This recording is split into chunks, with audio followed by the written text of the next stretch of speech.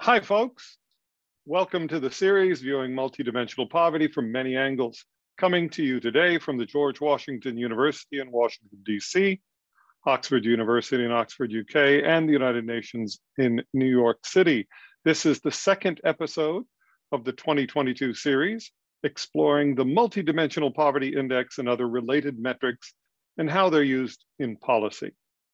I'm James Foster, the Oliver Carr Professor and Vice Dean of the Elliott School of International Affairs at the George Washington University, representing the Institute for International Economic Policy, or IIEP. I'm here with Sabina Alkire, Director of the Oxford Poverty and Human Development Initiative, or OPHI, in the Department of International Development of Oxford University, and along with our colleagues at the Human Development Report Office of the UNDP, we are pleased to offer today's presentation, Extending Multidimensional Poverty Identification from Additive Weights to Minimal Bundles, presented today by Sam Jones of Copenhagen and UNU WIDER, with discussion by yours truly. In just a moment, I'll ask Sabina to describe the series and introduce the speakers. But first, I'd like to express my appreciation to the team at OPHI for lining up a great series this term, and to Kyle Renner and the team at IIEP for producing the series online. Please join us Monday next week at the same time for our next MPI event, when Kehinde Omotoso of the University of South Africa will be presenting Profiling Gener Gendered Multidimensional Poverty and Inequality in Post-Apartheid South Africa with Jacob Assa of UNDP as a discussant. And if you missed something and you wanted to see, just catch the reruns of this um, at the YouTube uh, channel IIEPGW. Now, without further ado, let me turn it over to Sabina Alkire for her introductory remarks. Please, Sabina. Thank you so much, James. so this series is trying to bring into conversation methodological innovations or suggestions or ideas that have been um, constructed and worked by academics and others um, outside of the UN institutions. And we're just trying to really listen and scope um, to see what is coming up, how people are building methodologically on the work of multidimensional poverty measurement, and then how to use those innovations and findings as we move forward. So I'm delighted today that Sam Jones uh, will be presenting his work. He's a research fellow at UNU WIDER, but he's based in Mozambique and he's on extended leave from his position as an associate professor in the University of Copenhagen Department of Economics. And he has published in many places, um, primarily on microeconomic empirical methods related to labor, markets, education, finance, uh, policy, but also in this case, poverty and he's published in many leading journals, JW, JDE, WBER, American Journal of Agricultural Economics, Food Policy, etc. And um, his work primarily has been focused on sub-Saharan Africa. And he's previously worked extensively in Mozambique, um, spending 10 years as an advisor to the Ministry of Finance. And Mozambique was one of the first countries in sub-Saharan Africa to launch an official national MPI, so there is coherence also at the policy level. So we're really delighted to consider his propositions today. And as commentator is our own co-host, Professor James Foster, the Oliver T. Carr Junior Professor in International Affairs and a Professor of Economics and co-director of the Institute for International Economic Policy. Not and, anymore. Uh -huh, and Vice Dean um, of the Elliott School for International Affairs. So he's had so many different roles. And then with OPHI, he is a research associate in, in OPHI in the University of Oxford. And he has long-standing interests and insights and breakthroughs in welfare economics, in poverty measurement, um, in approaches to social indices. And these include um, unitary, unidimensional and multidimensional poverty measures, um, and also innovative applications of multidimensional poverty measures, for example, in the Global MPI or the Women's Empowerment in Agriculture Index or a Better Jobs Index or Statistical Performance Index of the World Bank. He did his doctorate in Cornell um, and also received a doctorate honoris causa from the Universidad Autónoma de Estado Hidalgo in Mexico. So wonderful group, uh, wonderful exchange, and it's over to you, Sam. Great. Thank you so much for the kind introduction, Sabina and James. Uh, and uh, welcome to everyone today. Uh, happy Valentine's Day. So uh, there you go. Let me just share my screen. um, great. I hope you can see this. Um, right. So yeah, as uh, as as James mentioned, this uh, is um, a, a rather slightly more, I guess, technical presentation. So apologies in advance on um, some ideas on extending multidimensional poverty identification. Um, let me begin with some motivation. So, uh, well, Sabina and James may may remember, but uh, I mean, I've I presented um, a long time ago, maybe ten years ago, uh, both in Oxford and at uh, some UNU WIDER um, conferences on multidimensional poverty. So it's a it's an area that I've had a lot of interest in. Um, you know, for a long time, perhaps in a more of a flirting way, I guess, in some respects, but certainly has been something I've always come back to. And one of the initial areas that I, I, have been interested in or was interested in is the question of robustness. So, you know, when one takes, you know, any kind of, virtually any kind of multidimensional uh, poverty index, um, there's always some, you know, question about what degree of importance or weight do we apply to the different um, underlying dimensions. And so you know, looking at the uh, at many of the standard approaches, you know, this is intimately connected with the challenge of, you know, how do we actually choose these, and does it matter uh, if we place slightly more weight on one dimension than than, than another? And, and what kind of intrigued me, um, at least at the beginning, was that it seemed to me, well, there's kind of an, almost an infinite number of choices uh, of these vectors of weights, if you want them. But actually, the set of outcomes seems to be effectively finite. Uh, of course, it's bounded between zero and one, and uh, at any reasonable significance level, there's obviously not going to be much difference uh, when we make infinitesimal changes to some of these different weights. So this led me in one direction, which was to um, something called a Good-Turing estimator of missing distributional mass. And, and uh, I published a paper that I don't think anyone has ever read, but uh, on on the issue of stochastic simulation. So that's basically how do you measure when you've done enough uh, coverage of all these, if you search across all these different weights, for instance, when do you know that you've done enough searching? So there's some ways you can, you can basically tell uh, a simulation method to stop searching because we've found all the possible answers.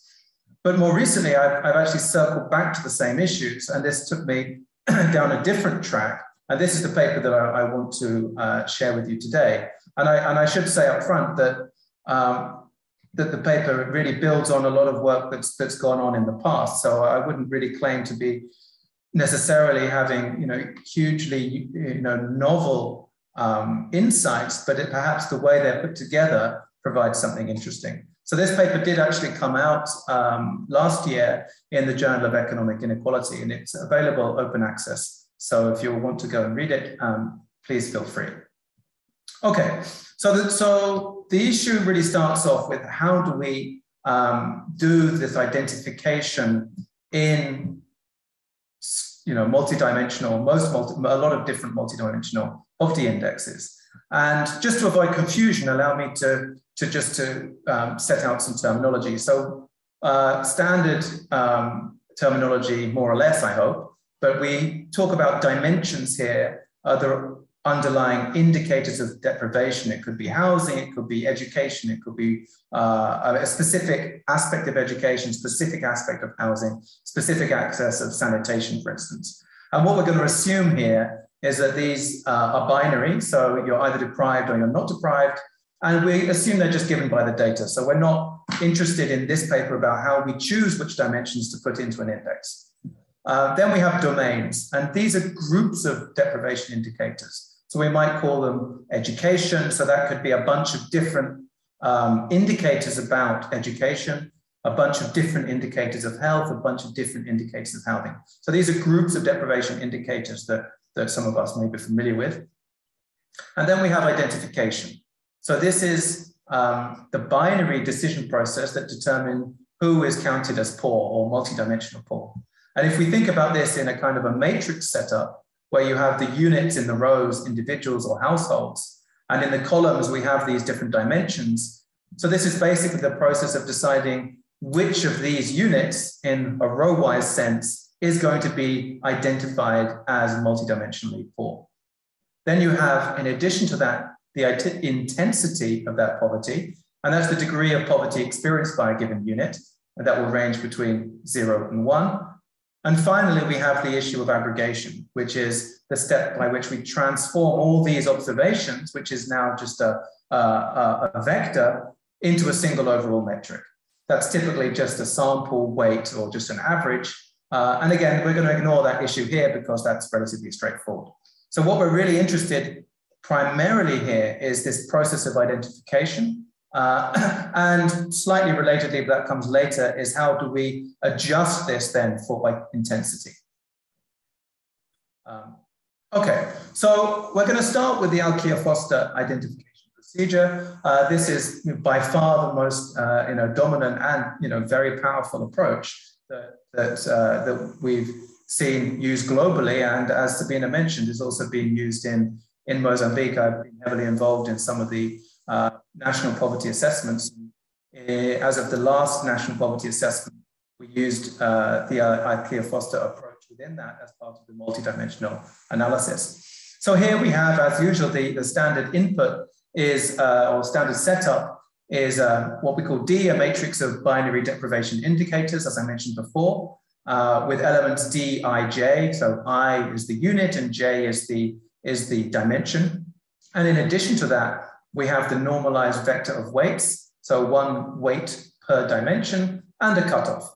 And I'm sure most of us are very familiar that how does this identify a unit as poor is simply we take the weighted sum of these uh, deprivations for any given row. And if that weighted sum is uh, at least equal to the cutoff, then we determine that hi is equal to one. So that's you know, relative, very simple, very powerful approach and straightforward. So it's basically a you know, weighted sum. If that sum is greater than the threshold, then that unit is identified as multidimensionally poor. Uh, if not, it's a zero. Okay, so what are the challenges associated with that? Well, um, one of the issues that has that piqued my interest that I already mentioned is that it turns out that different choices for the weight vector W and the cutoff K can actually map to identical poverty identification results for a given input matrix. So for the given data we have, different weights and cutoffs can often map to exactly the same result. Now, I think most of many, many people working in this area have kind of known this perhaps intuitively, but I think it's just worth um, just re-emphasizing what this is. And here's just some, some examples. These aren't statistical flukes. These are, you know, examples, and I'll show how why this is the case uh, uh, later on. So 1A, 1B, 1C uh, are all different choices of weight vectors and cutoffs, but they all map to exactly the same identification. So they always map exactly the same units as poor. So that's why the H in this case, which is the aggregate measure of poverty for, uh, I think this is actually done on the Mozambican data set, but it doesn't matter, always maps to exactly the same number. So 1A is just uh, a set of equal weights and a cutoff of 0.8. Whereas as you can see, 1B and 1C uh, are rather different. I mean, not necessarily hugely different, but they are different weights. So with different rankings of the different dimensions, if we uh, if we rank the weights in order, um, but they map to the same. Uh, two, A, B, and C do the same thing. So they they they uh, they're basically sets of weights and cutoffs which map exactly to, in this case, a slightly different set of people as poor, but 2A, 2B, and 2C are essentially um, equivalent, or they're actually identical functions from uh, a purely technical point of view. So as you can see, what's perhaps more interesting about this is that we have quite large variations in the weights themselves, or what seem to be large variations. For example, if we just take uh, weight one, in 2A it takes a, a weight of 0.328, whereas in 2C it's 0.136. So again, the rankings of the different dimensions here change quite dramatically, but effectively they identify, they always identify the same units as poor. Note, however, and we'll get back to this issue, that of course, when we use different weights, the adjusted poverty count does change depending on that weight vector. So that's actually um, an issue that we might want to consider and discuss whether this is a good thing or a bad thing. So what are the consequences of what I call non-uniqueness? Well, first of all, distinguishing different poverty definitions, if we call a poverty definition some combination of W and K, that might give at least a false sense of precision and specificity that actually they're not so different after all. Moreover, um, it raises the question of, of whether we can or should use the weights to indicate the relative importance of the different dimensions. As I showed before, the ranks are not stable necessarily, but they can all off they you know might map to the same poverty identification profile. And we also have the, the challenge uh, whether this is a good thing or a bad thing is, is open to discussion, but we have finite identification outcomes, but infinite choices of the weights. And that means that confusingly, the, the adjusted poverty count could be quite sensitive to the choice of weights, while the poverty uh, head count, the H, is, is less so. So that raises a set of challenges and, and issues uh, to, you know, for us to reflect on. Another uh, potential, and I say this is very much a potential limitation. In many cases, it's not a limitation at all, but it could be, uh, is the, the, the approach assumes perfect substitutability between all subsets of intersecting deprivations of a given size. now, to understand this, it's, uh, we can just do this essential, this kind of thought experiment. We can take any, uh, for a given choice of the weight vector in K, let's order the weights from smallest to largest. So W bracket one is the smallest of the weights, W bracket two is the next smallest, and so on and so forth.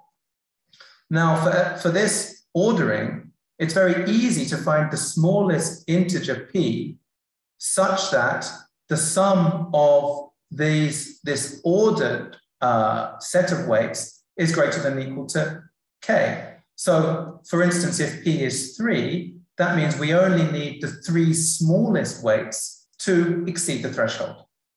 In which case it follows that all units deprived in at least three or P dimensions, in that case three, will be identified as poor. And then in turn, it means that any P tuple, any group of uh, deprivations um, of size P will be a substitute for any other in the production of deprivation. So, so in that case that I gave, the where at least uh, three uh, is needed, that means if you get any group of three deprivations, that will always exceed the threshold because the three smallest weighted ones do so. Now, of course, that's not necessarily an issue or problem, but what it does mean is that we cannot generally encode certain kinds of functions where we might want the degree of substitutability to vary between distinct subgroups of deprivation indicators. And this comes actually from a well-known issue in, in weighted voting games and, other applications of similar functions. Is the difficulty of, of encoding nonlinear functions. And one of these is a one from each dimension. Uh, so uh, as I, uh, oh, sorry, in this case, should be one from each do domain, apologies. So if we if we group these de deprivation indicators, I'm just giving you an example here, into two domains, A and B, you know, we might want hypothetically to define a uh, as multidimensionally poor anyone who is poor in at least one dimension from each domain. So at least one from A and at least one from B. Now, it turns out you can't actually do that using a uh, in this specific case, with these specific weights, note the specific weights here for domain A and domain B are half half.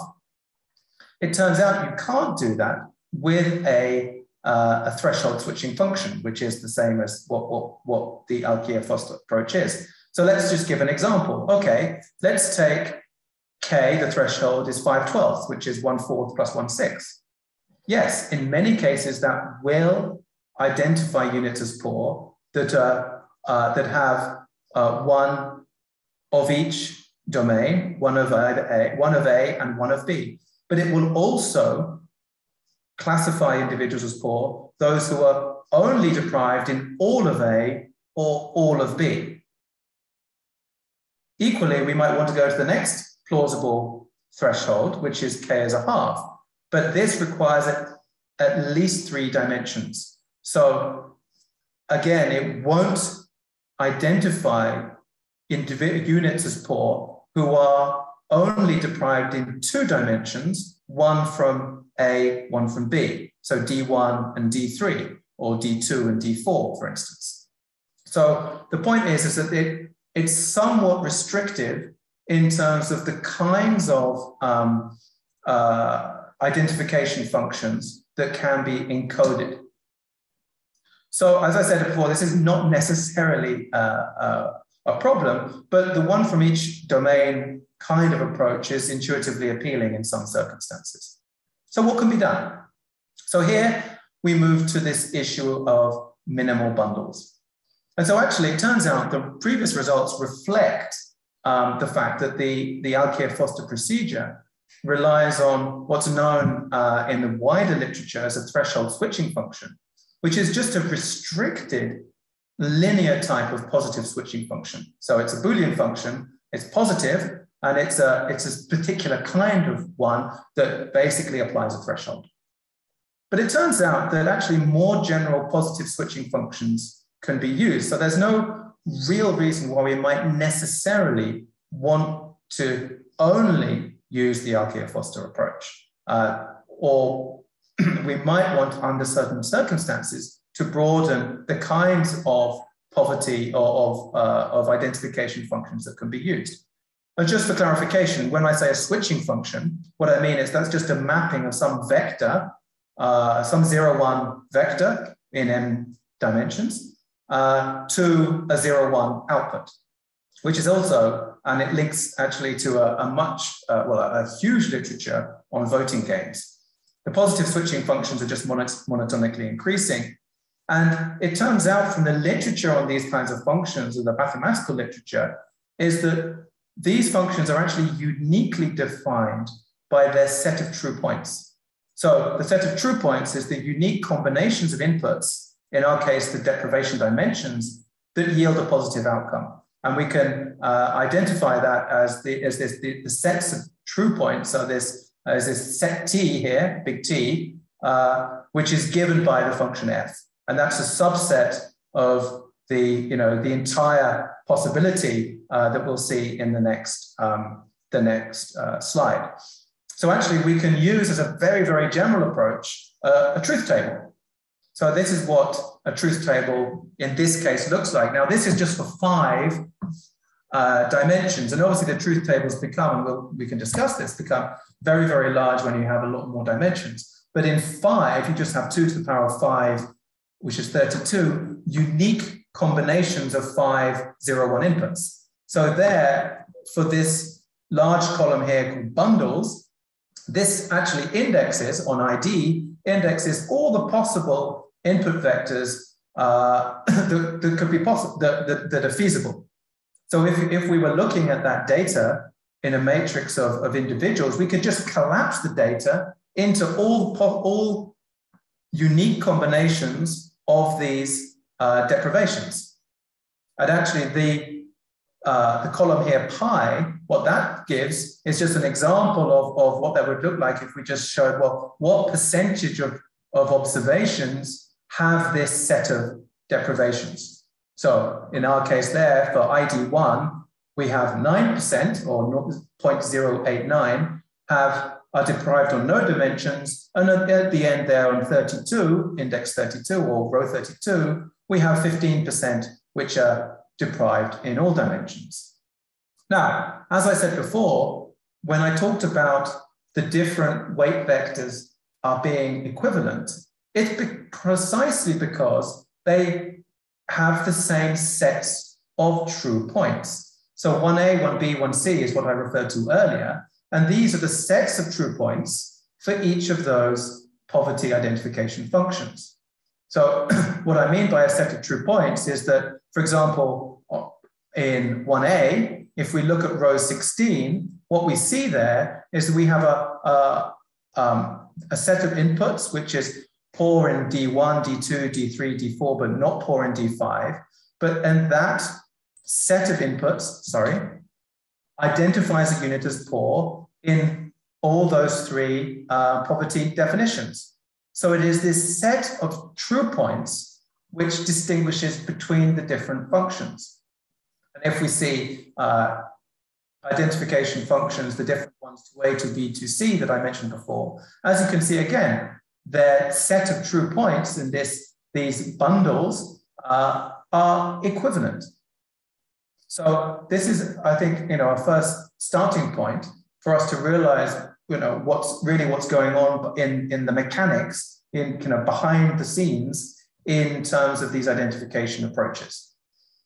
So it's actually quite straightforward here then to see that an output vector associated with a given switching function f in the truth table is also sufficient for poverty identification. So once we have, what I'm trying to say is once we have the index, the true points, it's very easy to do, I mean, that is the poverty identification. And from that, it's very easy to construct uh, an aggregate head count. All we need to do is take the sum of the proportion of observations with that unique combination of inputs, add them up, and you have the poverty head count for that given true point index.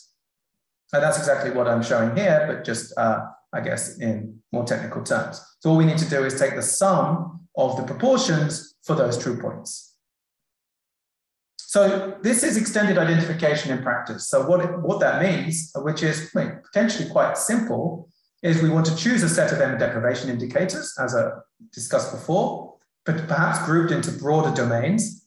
We collapse the observed data into the collection of at most t, 2 to the power of n unique deprivation bundles. That's to construct the truth table. We then select an identification rule, which can be any positive Boolean function or monotonic gain. So we can certainly continue to use the Alkire threshold, uh, Alkire um, Foster identification function, which is a threshold switching function, but we are not restricted to that. We identify all, all true points of function f, uh, which describe which uh, of all feasible bundles, which of those define a unit as poor. And then we calculate the multidimensional poverty head count by summing up the proportions of observations in each of those uh, unique bundles. So in many ways, this is just a way to extend multidimensional poverty identification to more a more broad or the general class of positive um, switching functions. Of course, there are some caveats that um, many people will start to notice and will probably already at the tip of their tongue. How do we represent these? How do we write down these different kinds of switching functions, even if we wanted to? And it is indeed very true that a huge advantage of the Alkire Foster approach is that the threshold switching functions are very easy and compact to write down. We only need a set of weights and a, and a cutoff. It's not necessarily so obvious if you want to do a broader class or, or have a nonlinear one. So the question is, what about these non-threshold switching functions? Well, it's not necessarily, not necessarily, uh, it can be, but it's not necessarily much more complicated.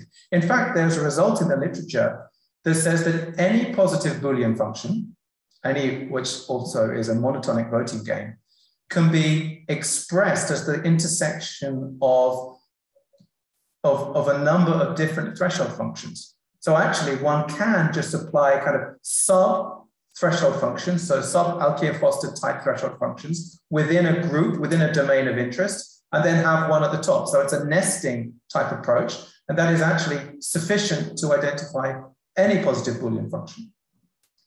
Uh, the other alternative, which is quite general as well, is to focus not on all the different bundles, but, but just the minimal bundles. What do I mean there? Well, from mon monotonicity, we only need the set of bundles that is minimally sufficient to classify a unit as poor. And by that, I mean all the bundles all those bundles in which all dimensions are swing. So again, this is a, slightly using some terminology from weighted voting games, but a swing dimension in this case is that if that dimension were to switch from one to zero, then no longer would that identify the unit as, in this case, multidimensional poor. So if all the dimensions are swing, that means if any one of them switches to zero, turns off, then that unit would no longer be classified as poor. So basically, uh, and it turns out, again, a result from the Boolean mathematical literature is that any underlying Boolean function is just the union, so the ORs of these minimal deprivation bundles. So going back to the, uh, the question before about how could we uh, do a one from each domain type um, identification, well, it turns out that that's all is needed in this case. And obviously it's very easy to write down uh, in, you know, in any programming language. All we need to do is kind of write out this uh, simple function here. We just take the, we take the, the inputs D1 and D2, add them together and multiply them by the inputs D3, D4, and D5. Uh, and if that, you know, sum, or if that, sorry, if that uh, product is greater than one, then we turn that unit onto, uh, uh, identify the unit as poor, zero otherwise. If I just go back a, a few slides and we look at the last column here, well, that last column is essentially that those true points for exactly that definition. So as you can see, you know, in many cases, it's going to be similar to some poverty uh, definitions, but not always. Okay, so this is how we can represent uh, different switching functions. So it turns out, you know, it's not necessarily more complicated. It probably just needs a little bit of additional coding, but not more than a couple of lines typically uh, to, to do that. The other question is intensity. So as we all know that, you know, that while the poverty head count is informative, often we're interested in the adjusted head count, which adjusts for the intensity of poverty uh, of deprivation. The problem is, is, of course, if we take uh, the approach that I suggested previously, focusing on the bundles, how can one calculate this? We don't have explicit weights. Well, it turns out, again, that game theory does provide an answer. So actually, game theory has, has invested a lot of time and attention into voting games, which are actually, uh, you know, basically uh, very similar to what we're dealing with here. And they had a notion of power in game theory which is the power of each dimension is indicating which dimensions are relatively more decisive in switching the function from zero to one. So what we can have here, we can apply that logic, is we have our function, our switching function f, that gives us a set of true points, and it is really those true points uh, that indicate uh, implicitly the power of the different uh, dimensions. And actually, we have a number of the two main ones in the literature, although there are a number. The two main ones are the Banzhaf power index and the, uh, the Shapley value. So the Banzhaf power index, which uh, I talk about it in the paper, and I don't actually go into the Shapley one in, in this paper, but it's, it's feasible to do it, and I've done it separately, is it takes the measure, the measure of power, it takes the relative frequency of each dimension in the collection of minimal bundles. So if we take a collection of minimal bundles, uh, those dimensions, which are always, as I mentioned before, swing or critical, which uh, make the difference at the margin between being poor and non-poor, then that gets a relatively higher weight. So it's important to mention here that if we go back to that truth table, you know, what is unique is that if you take the truth table, it's the index of the true points, associated with the bundles that gives the, the weights, the, the, the power, sorry, it gives the power measure. So regardless of which weights you might have used, even if you apply the Alkire-Foster approach, you can apply whatever weights you want, uh, that will still give you, you know, a different, um, a specific and unique set of or, uh, power value depending on which of those true points of that uh, of that uh, of that function. So this is just, just to give you an, an example here again, but going back to those different uh, functions that we've looked at before. So F1, which as you can remember was, uh, was uh, a vector of equal weight, but it wasn't necessarily a vector of equal weights. It could be any uh, any of those three which were equivalent, the Banzhaf power index here, BZ, gives actually the same, exactly the same power because all of them come in to the minimal bundles in the same frequency. They all have the same relative frequency in the set of minimal bundles. Uh, we can forget MBZ, that's just a slightly adjusted measure. If we take F2, again, remember there was one of these was uh, the one shown there, but there's many others which provide the same set of true points. The Banzhaf power will be the same for all those that have the same set of true points. And as you can see here, the Banzhaf power index is actually quite neat in this case and differentiates between, between 0.1 and 0.3.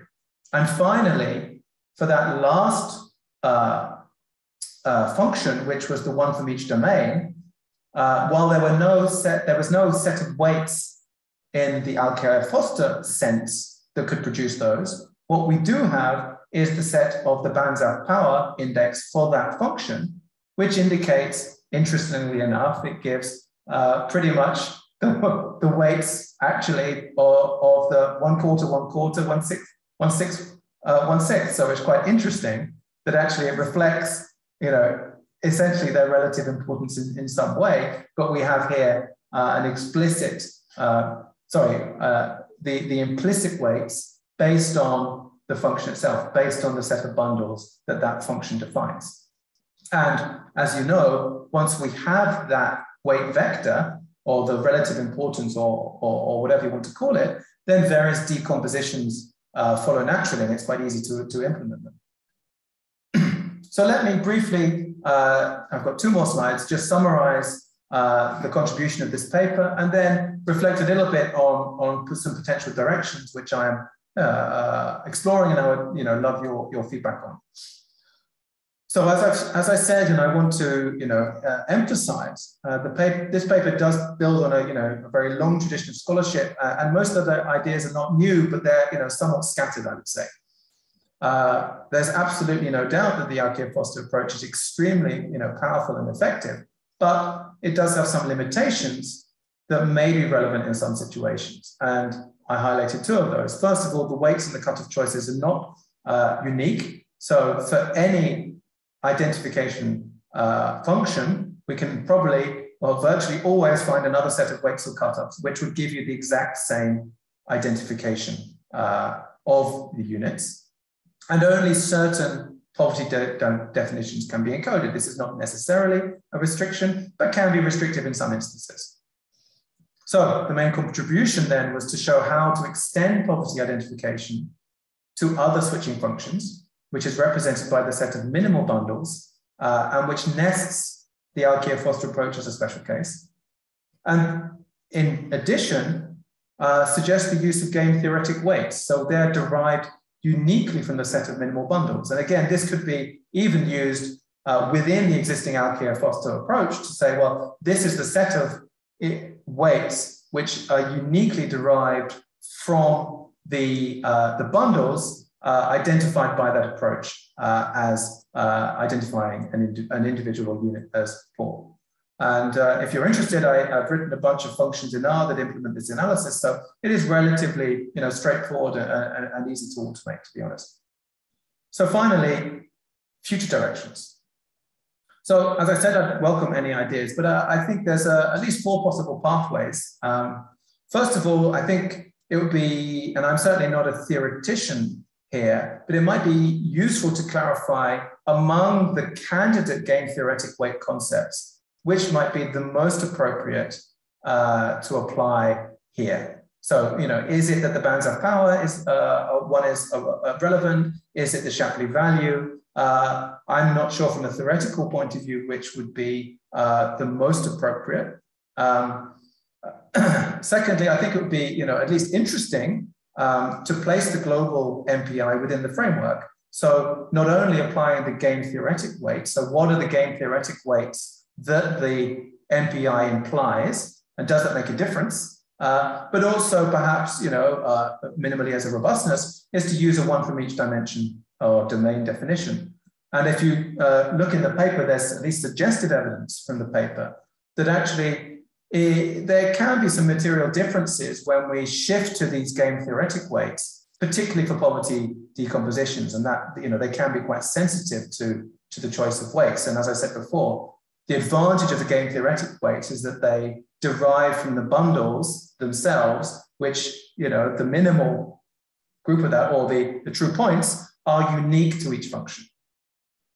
There could be some work which would be quite interesting is to think about, well, can we think about subjective poverty de definitions? And there's a large literature on how we can you know, get subjective poverty definitions or input, user input into poverty definitions, but to do that rather than from choosing weights to choose bundles. So could one think of some way that, that we could confront an individual, uh, you know, rural Mozambique and say, well, look, imagine you have two households. One household has this choice of bundle, one household has this bundle. Which of these would you determine as poor? And iteratively, one could actually start constructing a minimal set of bundles in that way. And finally, I think there's a route coming back full circle to robustness analysis.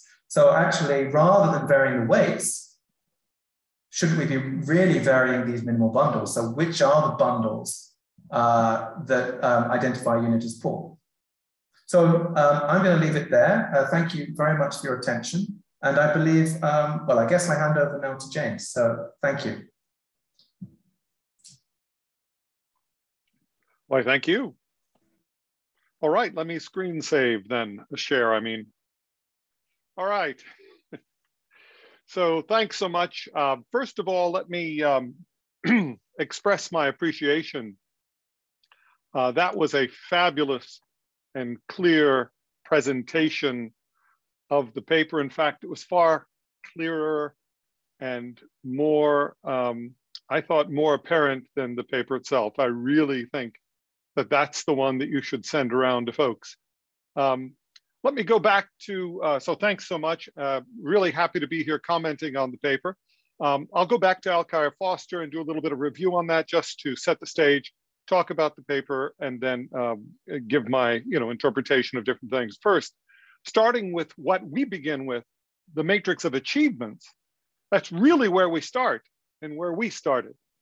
Um, you know, the paper here starts with the reduced form saying, okay, we have a deprivation matrix. But there's lots of things you have to think about before you even think about a deprivation matrix, like what cutoff or what groups of, um, you know, what, if, if it's just kind of descriptions, which descriptions of a particular indicator, um, you know, the floor being something or the roof being made out of something.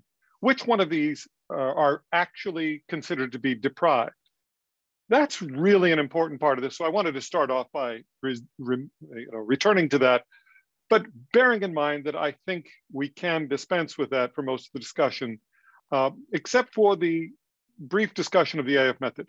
Dual cutoff, excuse me, dual cutoff approach has in fact the deprivation cutoffs included. These are part of the normative inputs which create the AF paper, the AF approach. So deprivation values, which are otherwise known as weights, also are there. Poverty cutoff, how, how much is enough? When is it too much so that you consider the deprivations are too much in the aggregate, so we consider a person to be poor. So the key advantages of AF is the ordinality. It really applies to very basic data. And it, in this point, wasn't really mentioned much. It was mentioned somewhat, but I have to really be incredibly, uh, emphasize an incredible amount on this. It's very easy to understand and implement.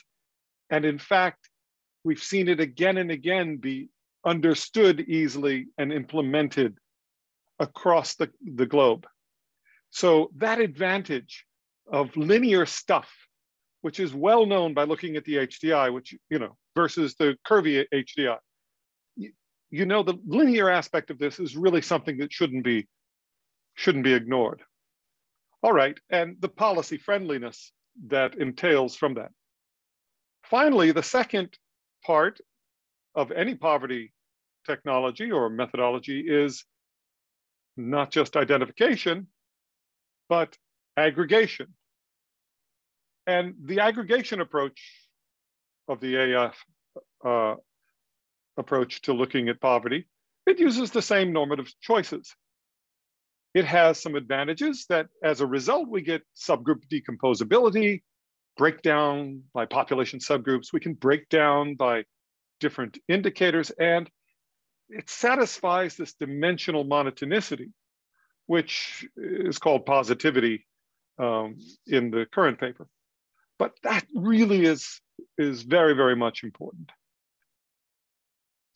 So um, general and specific identification functions. The AF defined as well as its specific identification function, a general mapping from a person's achievement to zero one indicator function, if you will, where the value I, value one means poor, value zero means uh, not poor. Then assumed ordinality, which allowed us to kind of compress it all into the deprivation matrix and hence a person's deprivation profile or a row in that matrix.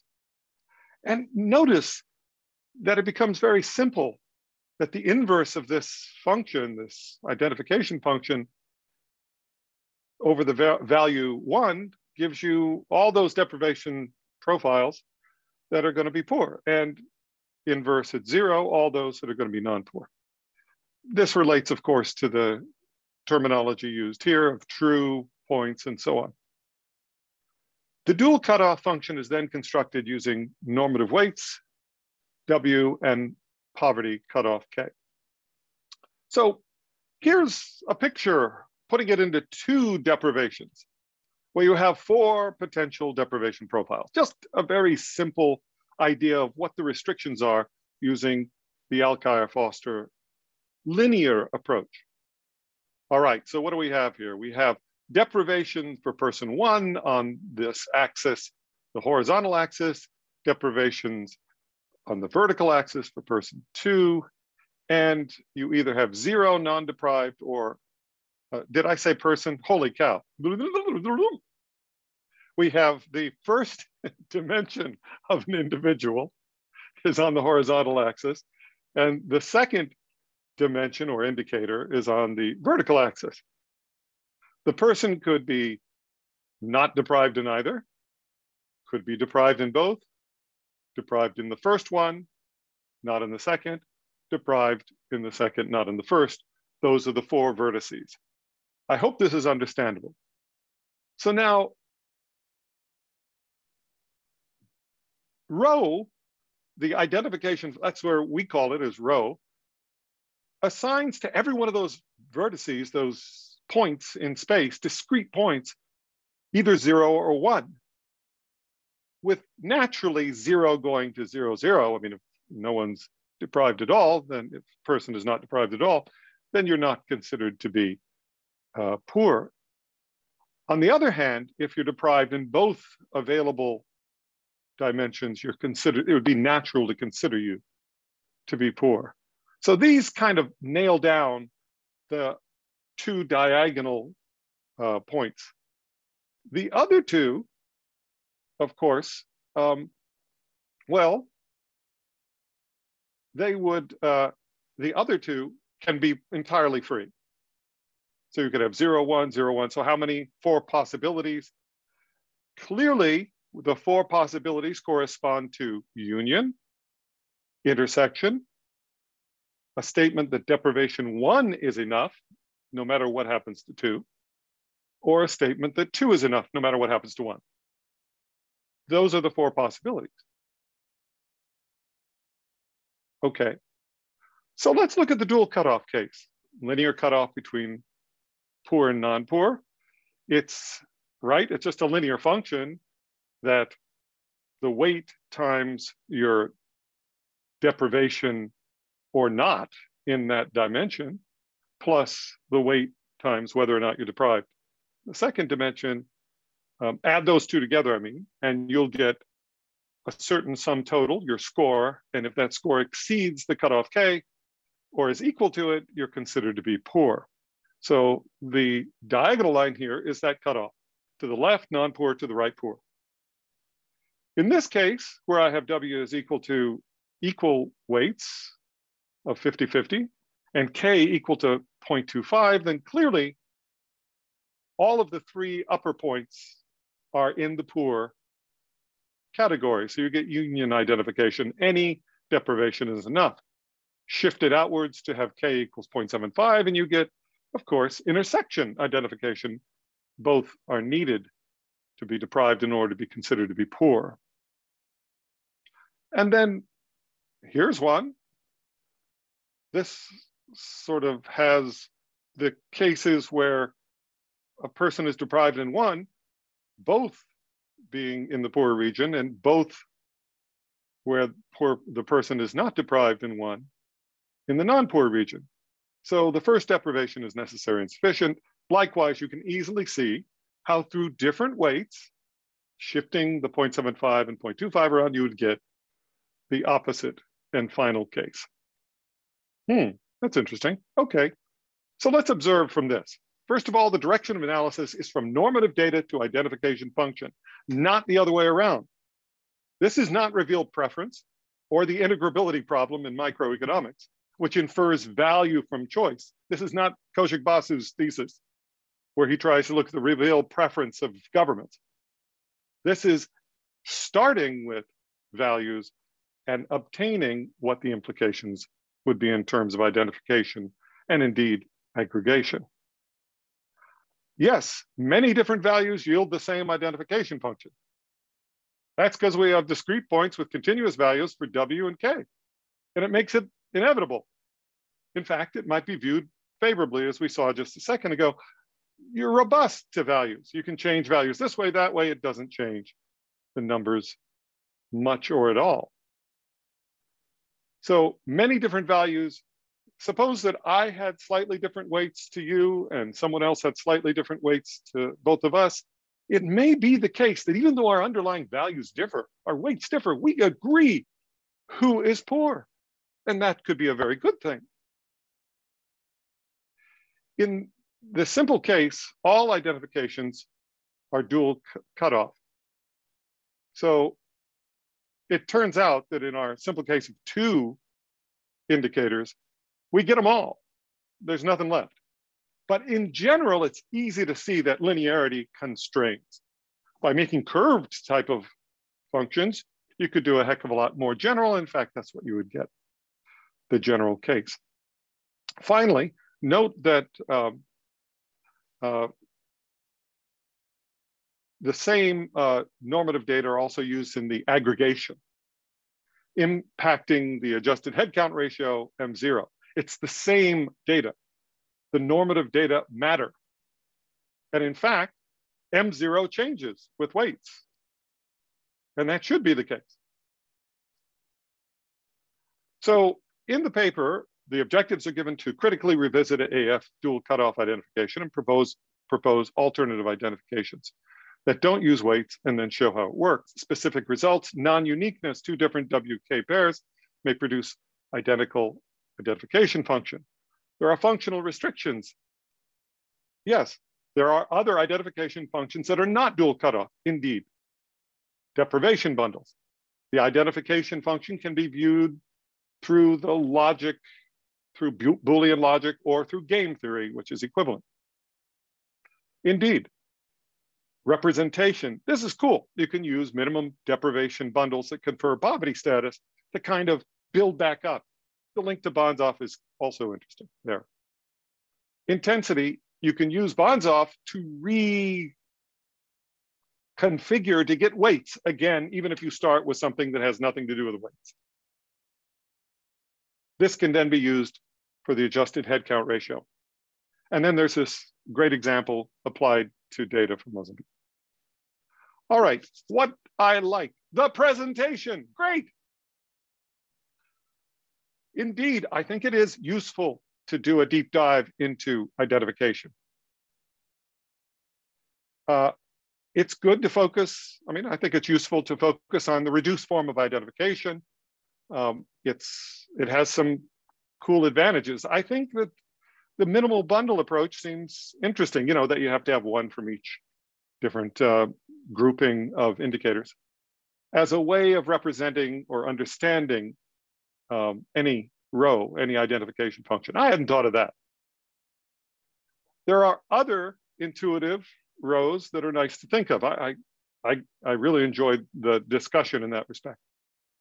It was quite an interesting link to the mathematical constructs, switching functions, voting games, which Sabina and I had used in a recent paper. Uh, my GW co colleague in the law school, Banzhaf, uh, it's always good to see his uh, work being applied. Um, and I appreciate the example. It really helps understand how to use the alternative approach, particularly that Boolean table with the frequencies to, you know, it's a decomposition of the whole population. And I've used that in a number of measures. Um, Inter-American Development Bank has a better jobs index and we've, you know, constructed it that way. Okay, here's some remaining observations and questions. First, non-uniqueness. Why is this unexpected? It isn't. So you saw the graph, lots of lines would work, I get it. How much really is lost? Isn't the following interpretation a bit extreme, if not misguided? The non-uniqueness raises substantial challenge for the literature that treats differences in numerical values of the input parameters as reliable and direct indications of differences in who is identified as poor, as well as the relative importance of each indicator. When you have a normative approach to begin with, it, there's nothing there that is seen as a critique. It works fine in the right direction, and it was not meant to work in the wrong direction. So we weren't meant to have the integrability or revealed preference. So why is, um, in addition to this, there was a statement concerning the contrasting sensitivity of M0. Why is this unexpected or problematic? And here's the relevant quote. While a given combination of weights and cutoffs may not be unique from the point of view of poverty identification, the adjusted poverty headcount nonetheless remains sensitive. Least from a theoretical viewpoint, this does not seem to be entirely satisfactory. I don't know what theoretical viewpoint you might be coming from to arrive at that statement. I just don't get it. I didn't understand the paper. So if you can explain, that'd be great. Um, functional restrictions. Uh, second limitation, yeah, is that they only admit specific types of identification functions. Absolutely.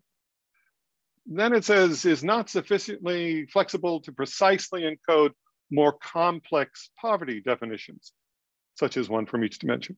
And, and I would agree with that. But it gets us to the point, more complex poverty definitions. There is a trade-off between complexity and the ability to apply it. And so it, maybe through use, that might actually be solved. But a priori, there is a question when you have a whole bunch of bundles and you're sitting before the minister and trying to explain it. Why is this unexpected?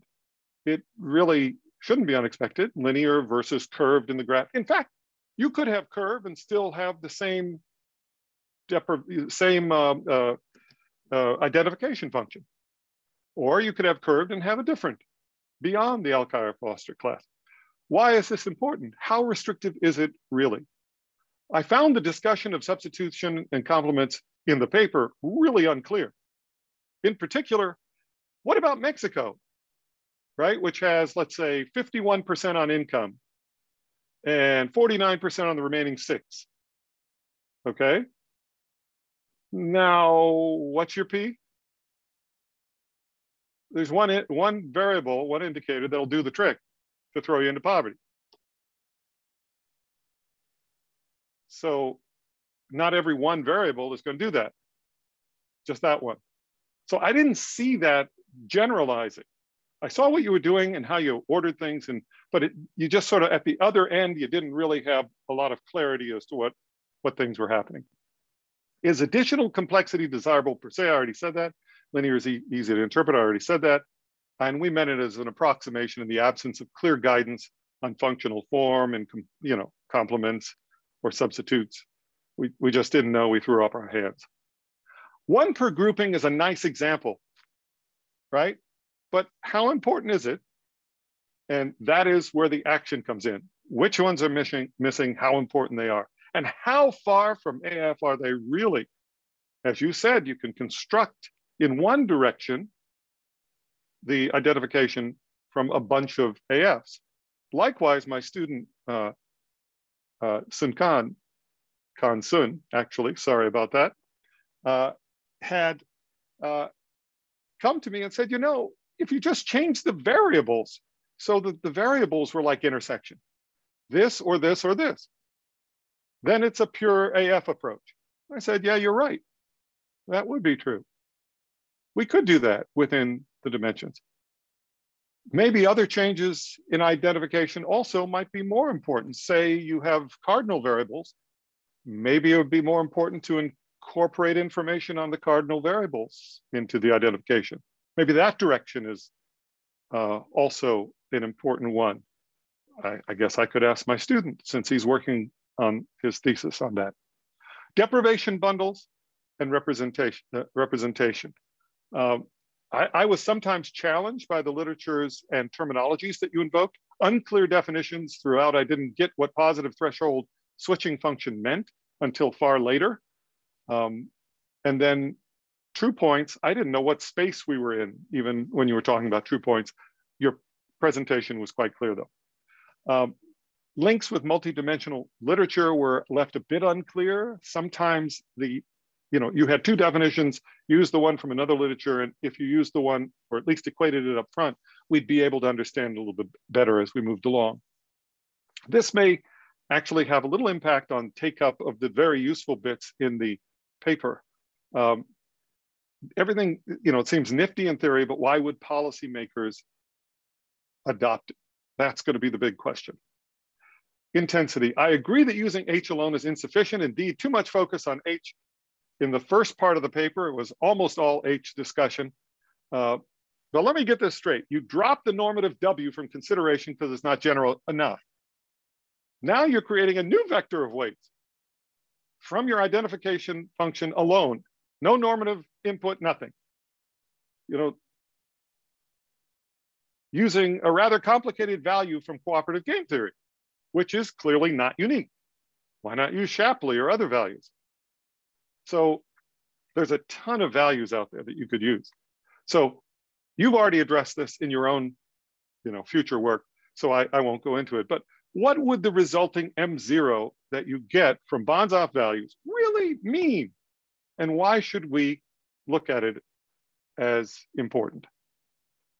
The example, yeah, that was great. The approach can be applied. Thank you. I really like the Boolean table with frequencies decomposing the population by deprivation profiles, that's helpful. Um, but number of bundles, minimal or otherwise, I don't know what the heck that means. So I'm just gonna say it disappears. And I wanna say thanks to everyone for listening to me. Thank you, firstly, to, to James for taking the time and effort to, to go through the paper and uh, respond so comprehensively. So I, I guess uh, I mean, I agree actually with most of what you say. Uh, I mean, I, I, I, fully agree that none of this is necessarily expected. Uh, but, you know, that's coming from you, James, who, you know, really understands how this approach, the Alkire Foster approach works. I think there's many people out there, you know, casual users perhaps, who don't necessarily appreciate some of these, you know, slightly finer points. So yeah. at least one of the, you know, very minor contributions was uh, slightly in a, in a sense to try and kind of uh, raise uh, these these points. And I think you probably did it uh, pretty, you know, very well in your presentation. It could have been done a bit more simply. But it's also to, to, to highlight the fact that, you know, these weights are not necessarily unique. You get the same. So, uh, but I like the point and I, and I hadn't appreciated it sufficiently that this is a, you know, it's not necessarily weakness. It's also a strength that, that, that, that you get, you know, that is robust to, you know, many different weights that you would choose. And I, I you know, I think that's an important, important way of thinking about it. So, and, and I also like, and I would need to, you know, reflect a little bit more on this point that you start from the normative and, uh, and that drives everything. And I, I think that's, that's interesting. I think my immediate reaction to that though, and again, maybe coming from a user's perspective, is to think that, you know, as a user, you might think, well, you know, these weights normatively say that this dimension is the most important. But it turns out that it's not necessarily the case, right? And I think that's that's the issue is that you know if we think of as a user these weights as kind of in some way um, reflecting the relative importance of the different dimensions, you know, it turns out that that's not always the case. So it could be, you know, if you think about again that that truth table, that you know a different weight vector with a different ranking of weights is going to give you the same identification. So I think that's, I mean, whether that's good or bad, I don't know, right? But I think it's at least important to to point out. Um, and actually, you know, the, the the the issue there, which is why it's useful to go from the bundles to the game theoretic weight, is that that's unique, right? It's unique to that identification function. But I, I mean, I get the point that you know it does. It's not driven by what's normative. But again, I don't necessarily fully understand what you mean by normative content in that case. I mean, that's quite a it's quite a vague concept. So in, in a sense that the, the approach there is saying, well, these are the bundles. It's very clear that uniquely defines the the identification. In your case, the rho. You know, rho is is actually uniquely defined by a set of true points, and from that we get the unique game theoretic weights. So in, in a sense, it's, it's, I guess, theoretically neater because it avoids the problem of, of, of having a certain set of weights, but actually at, this, you know, the same identification function. So I'm not sure if I'm, I'm being sufficiently clear, but, but I think it was that logic, but I hadn't thought of it from the point of view of, of what's you know this normative content is most important. And i guess you know the, the other point you know I, I fully agree is that you know is more complexity desirable? Probably not. No. Uh, i agree. However as you admitted the one from each domain can be actually quite an intuitive approach so even if one were to apply it to the global you know the global mpi one could say well it would be quite interesting to see to what extent that might change things. But that's an empirical question, right? So as I said in the in the in the thoughts, it's like what uh, it'd be interesting to do a, a, dive into the data a bit more to see well how much does this change? I mean, on the one hand, I think probably not a great deal, but it might change quite a bit for the poverty decompositions uh, because that's where where things do seem to be a bit more sensitive. But anyway, I, I will leave it there because there could be questions. Um, uh, but thank you very much. Thank you so much, Sam. I'll use my prerogative as chair to ask the first question, and then there are a couple more in the chat that we'll go to immediately after, for which many thanks. Um, first of all, again, thank you so much. Um, really, really interesting insights and um, uh, discussing identification and thinking about it. And actually, we do um, two things um, very regularly. One is when we are setting a K, um, then we actually think of the bundles and try to look at the intuition. And we basically look at a piece of paper and we talk. If you have this and this and this, you'll be poor. If you have this and this and this, you does it make sense? So that's part of the normative exercise that James was talking about that we've done with a lot of the MP, MPIs. And I wasn't clear about the intuition of what you were proposing to replace that with. But the other thing we do with what you were calling the truth table, we basically see um, different people and different vectors of deprivations. First of all, it's important to know what clusters together for policy reasons, because if the same deprivations cluster together, they should be treated together.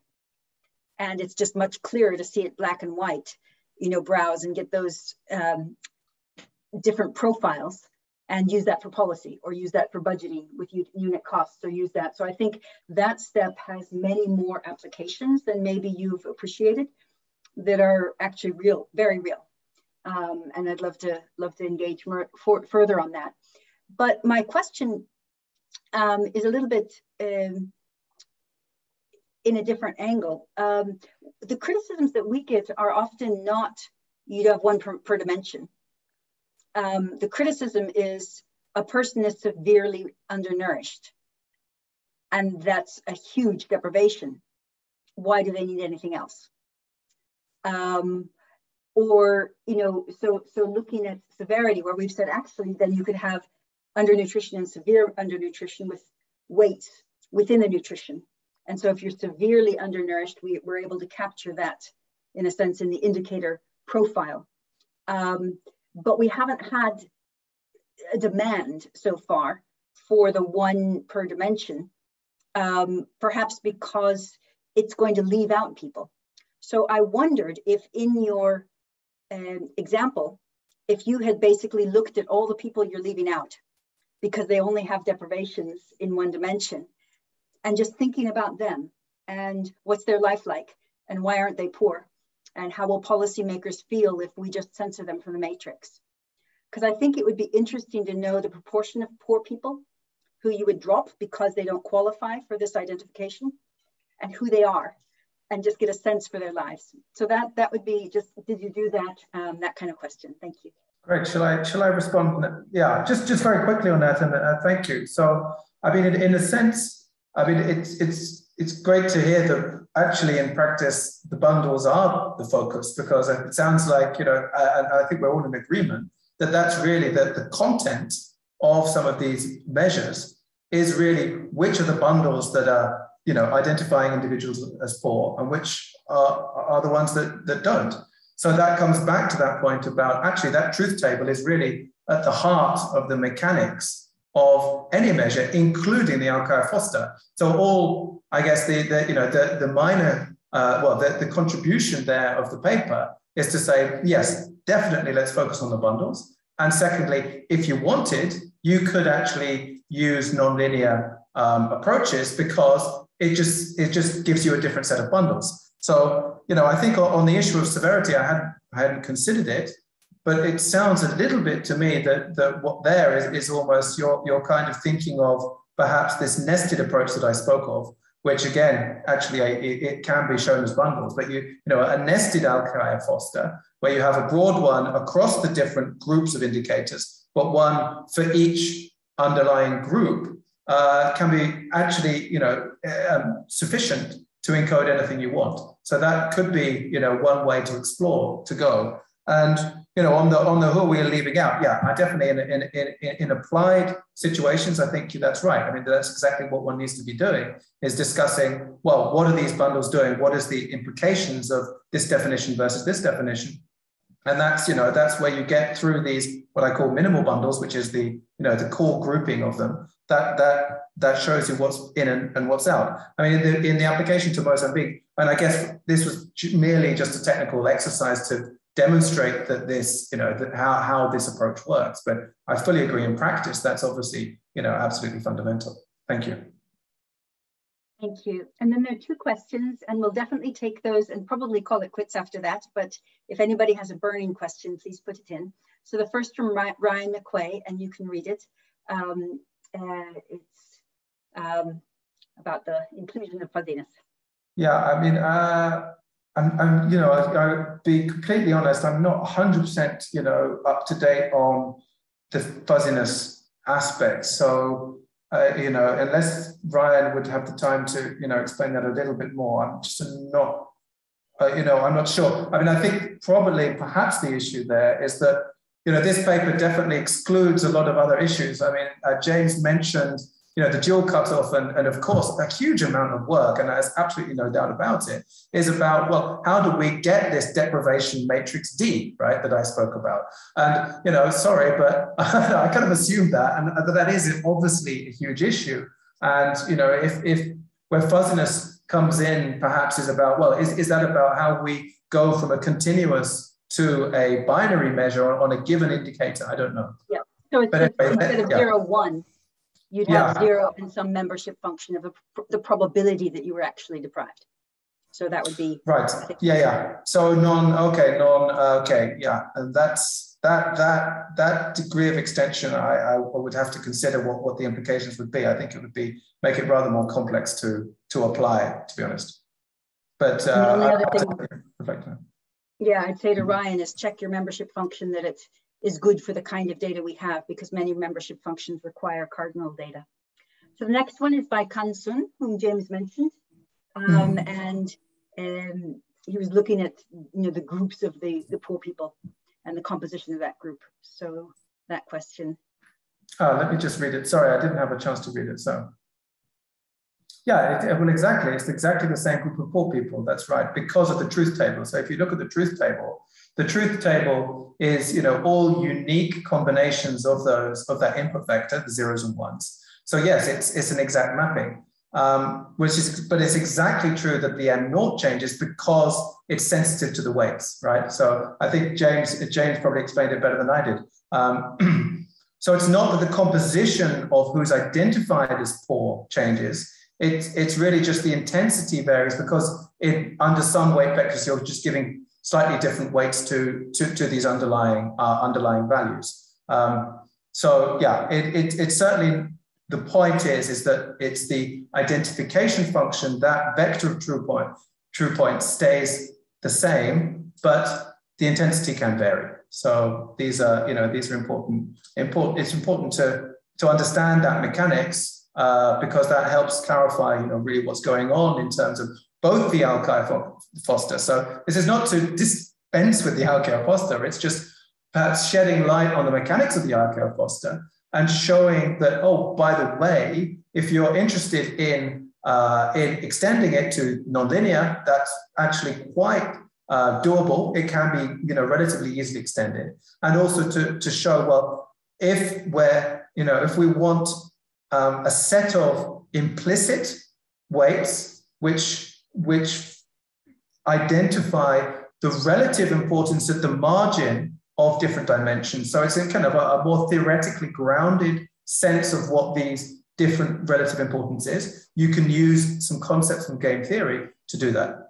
So I'd say that would be where the where the contribution lies. So it's consistent with Alkire Foster, but provides some potential ways to extend it.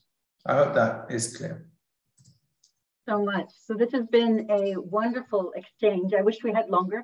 I wish we had time to talk about our tests for robustness to different vectors of weights. I wish we had, you know, time to, to go into more details about um, what would be the properties of identification if the weights um, were based on other things? What would that do to the focus axioms? Would it be comparable over time? Would the same person be identified as poor? They have the same deprivation profiles in two periods of time. So there are lots of questions that come up when we have this kind of exchange, but it's been very stimulating and interesting. I'd like to thank Sam Jones and thanks James Foster. I'd like to ask the panelists please to log on with the uh, for the afterglow uh, with the link that you'll find in your emails. I'd like to thank all the participants and welcome you back to the seminar next week. Back to you, James. Well, that's it for today. See you next time here in the same old place next week. Bye-bye.